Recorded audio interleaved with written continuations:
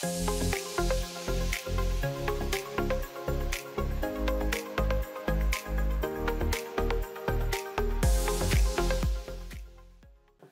term eyelid ptosis is used to describe a lower than normal position of the upper eyelid which results in a noticeable difference between both eyes or if both eyes are affected, make you look like you're tired or sleepy.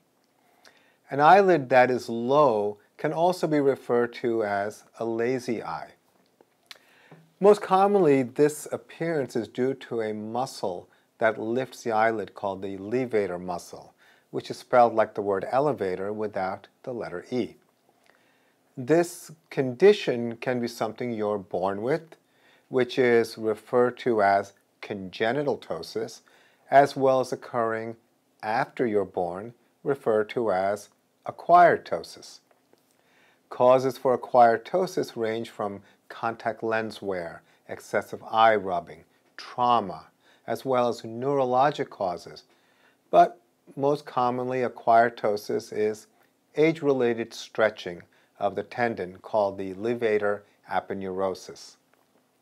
As a cosmetic oculofacial plastic surgeon, I often see people who have had cosmetic eyelid surgery for hooded eyes performed elsewhere who still feel like they look tired. This is oftentimes because they still have ptosis. This is not unusual because ptosis surgery training is not part of a residency in general plastic surgery, as opposed to the specialized post-ophthalmology residency fellowship training in oculoplastic surgery. There are several techniques for eyelid ptosis correction, depending on the extent of the ptosis and the strength of the levator muscle.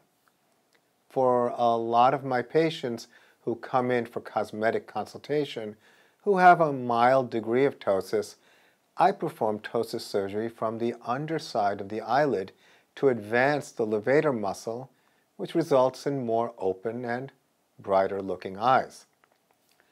For moderate degrees of ptosis, as well as for people who have had ptosis surgery elsewhere and have come to me for revision surgery, I perform different types of levator muscle surgery from the front of the eyelid.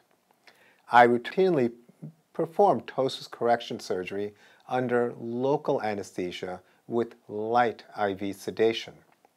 This type of surgery requires precision to achieve optimal contour and symmetry, so patients are asked to open their eyes in both a laying and seated position so I can make appropriate adjustments to get the most predictable results.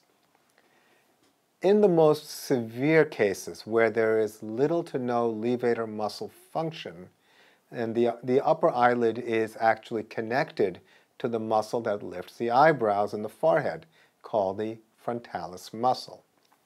This procedure, which is typically performed for people with congenital ptosis, is called a frontalis sling.